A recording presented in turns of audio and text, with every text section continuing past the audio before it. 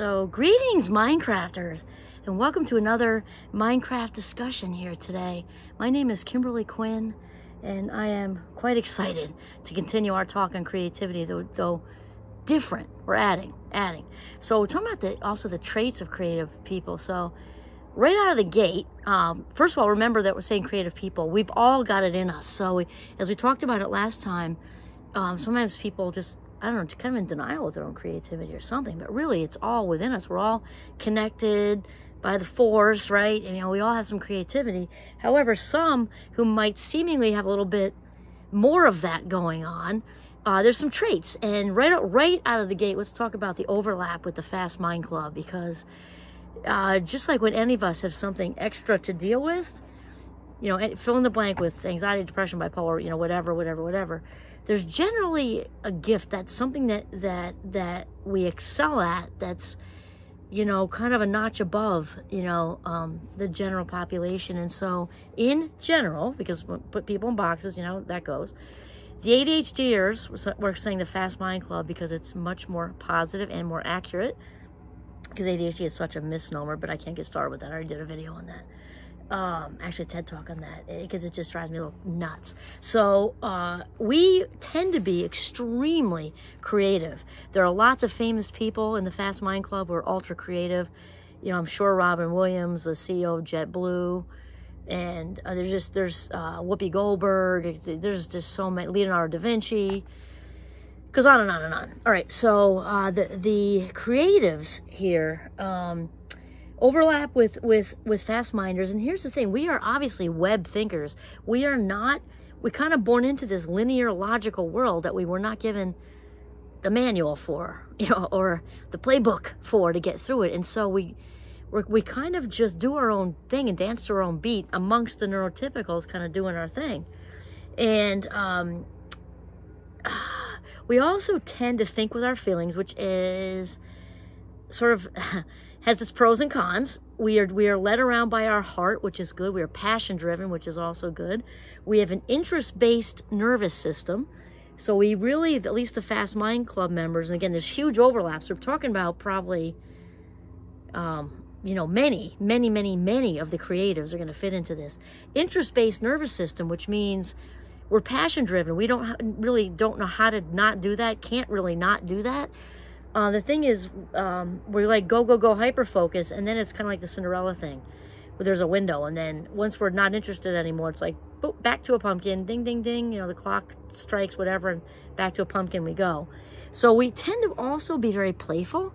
Many of us are like little kids in a grown up body, and it doesn't mean that we can't do the adulting thing. It's definitely more, at least for the Fast Mind Club members, remember, overlaps. I'm talking about creatives in general with some overlap, a lot of overlap with the fast minders. So little kids in a grown-up body, adulting tends to be a challenge, but we can are and we can also be very, very centered. We just we love to play.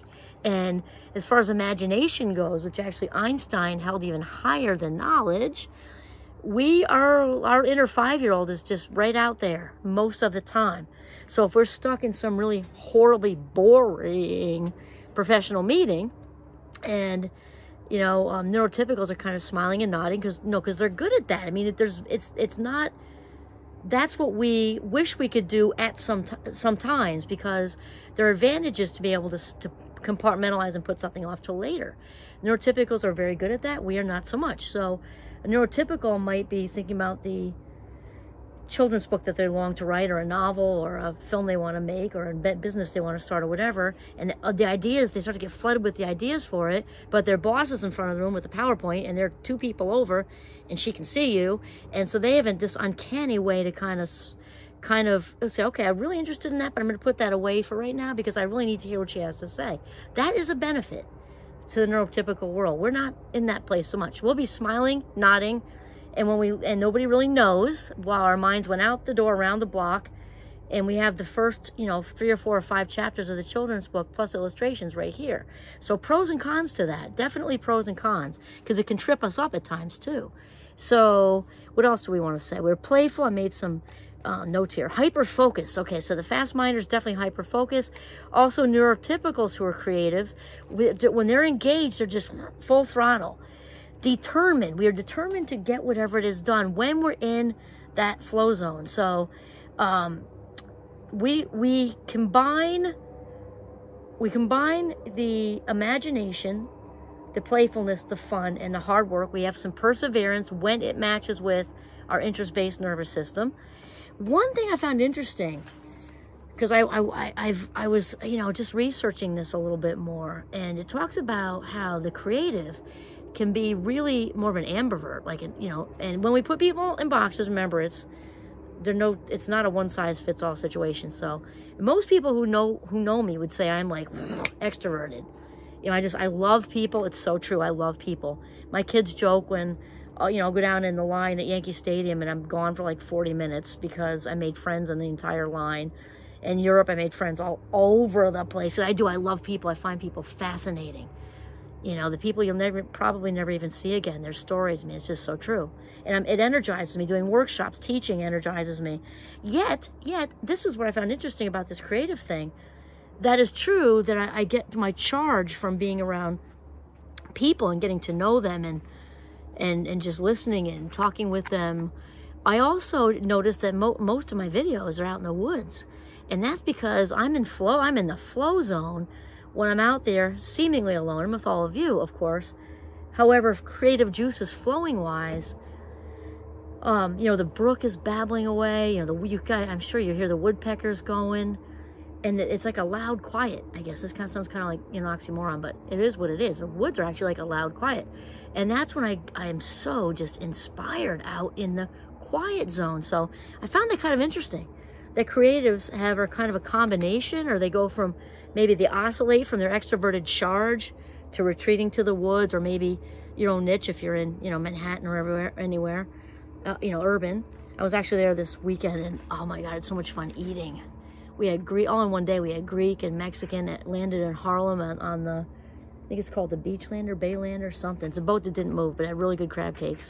Um, yeah so inspired by people, I love people. Retreat to be re, re, retreat to the uh, to the woods. Oh, I also retreat out with the goats. I'm gonna let them out soon too. There might be another video coming. And we let out our inner five-year-old to play. We're very in touch with our inner child, really in touch with our inner child. So imagination-wise, and also feeling-wise, because again, we tend to think with our feelings, so good and not so good. Because thinking with our feelings, because we're, we're empaths, usually we, we can just feel what's going on in the room and obviously like specific with with financial decisions it's not generally a good idea to make those based on emotion. So again double-edged sword. And oh one thing that's um i don't know i'm gonna say good i don't i don't want to really label it with anything because it just is what it is so why label it? And this is definitely true for me the creative's mind doesn't slow down really ever. Doesn't slow down ever um, and it can be in the night, it can be in the morning, it can be in the shower, it can be when you're on a boring date, it can be anywhere. And, and you see something in a window on the street, you see something, you hear something, somebody read something, and all of a sudden your mind's off and going. And it's like a connect the dots situation, which people often cannot follow, but we know how we landed there. And then all of a sudden we're we've got a, an idea for a, for a, for a video or or a podcast or a film or a like I said, a business or a, a new t-shirt line or who knows. Uh, but it doesn't shut off, so that can be hard sometimes. You know, we don't usually don't sleep a lot or well. I actually do sleep through, but I don't need as much sleep. And um, we're often relaxation shamed, and not anymore because I've made it really clear that I don't relax the way that other people do. So they'll say, "Why can't you just sit down and watch a movie?" Well, let me see. That's how you relax, and that's not how everybody relaxes. I, I, I, read voraciously. It's it's in just in spurts. I'm not going to sit down for four hours. Why? Because that's way too much sitting, and sitting's overrated. And I relax while running, skiing, walking in the woods, and I, that's when I'm feeling all zened out. Not sitting, vegetating, watching a movie. I, and I can do that sometimes, but it's got to be something that really captivates me. Um, and truthfully, I'd rather watch them at home because the sensory thing with the popcorn chewing and the talking, people walking around. I don't really enjoy that too much. And if I'm watching it at home, I can get up and move around and then sit back down. That's just my own thing. We also, creativity has a lot to do with problem solving, and creatives are very good problem solvers because we think outside the box. We, we think outside the box naturally. It's just we don't even know how to not do it, which is why we often I have this down too. We often don't take the credit because somebody say, "Wow, you just did that. You just came up with," and we're like, "Well, yeah, just," and it just kind of like I don't know, like water through a faucet. So why why take credit for that? It just rolled right through, and I you know out it came. Um, we stay on task as long as we're interested. We said that. Um, oh, when we're in flow zone, we talked about the work of Mihaly Csikszentmihalyi. We lose track of time. We forget about when we're really in it. Like if I'm writing a Psychology Today article or, or teaching or doing a workshop for my well-being role with parents in the parent-to-parent group, whatever. It's like time just leaves. And there's nowhere else I'd be, no one else I'd rather be. And it's just this joyful state of flow. Um, and it, when we are creating at the highest level, that can be a chef, doing his, her, their masterpiece, um, whatever it is. Somebody's creating some kind of something for their business, and it, we're busting out of functional fi fixedness. So that's when something has a particular use that we're all used to, like a lawnmower engine just mows a lawn. A rain boot, a tall, like the farmers wear around to these tall rain boots. Well, you know what? If you only, if you lost one, and it, it's April and, and in May, well here May, almost June, you're trying to plant stuff, fill it with dirt, throw some sunflower seeds in there. Ah, you just changed the, the use of that big tall farmer rain boot and it looked kind of cool. Uh, we can find all kinds of different uses for things because we just see it. We see new possibilities in old things, which is also why the originality thing we were talking about in the last video, I think I have to do a part three because I'm not through this and it's already almost 12 minutes. There really isn't any such thing because, and it's, it's not it's not stealing it's just we look at old ideas old things functionality wise and we our mind just goes like this and we see new possibilities and it just comes to us just novel novel ideas for old stuff. So so it's all new but it's coming from kind of like we per we i guess we repurpose maybe and it's something we really can't shut off and probably don't want to. I know i don't. Um and so we can you know stealing information. We're not stealing. We are we are seeing with a new lens that comes up with something brand new. If it kept it the same, then that might be stealing. But we see something brand new, and it's very very cool. Um, and and lastly, I'm actually creating a Zen den right now. My youngest daughter's helping me. We need a creative niche. Like we've got to have our some space, and it, it's for well for me as a fast minder. I need simple. I need simple, which is why the woods really works for me because clutter hurts my head as well as the squirrels who all live in there. They get upset. So um, we need our, our nice space to call our own, even if it's nature because you don't have the space, whatever, but call it your own. Clutter free because clutter on the outside causes clutter on the inside, and clutter is like a gigantic roadblock to creativity. Okay, we're going past the time here, so I'm going to talk about more later. This is Kimberly Quinn signing off from the very hot and humid and lovely northern Vermont. Have a mindful, very creative day.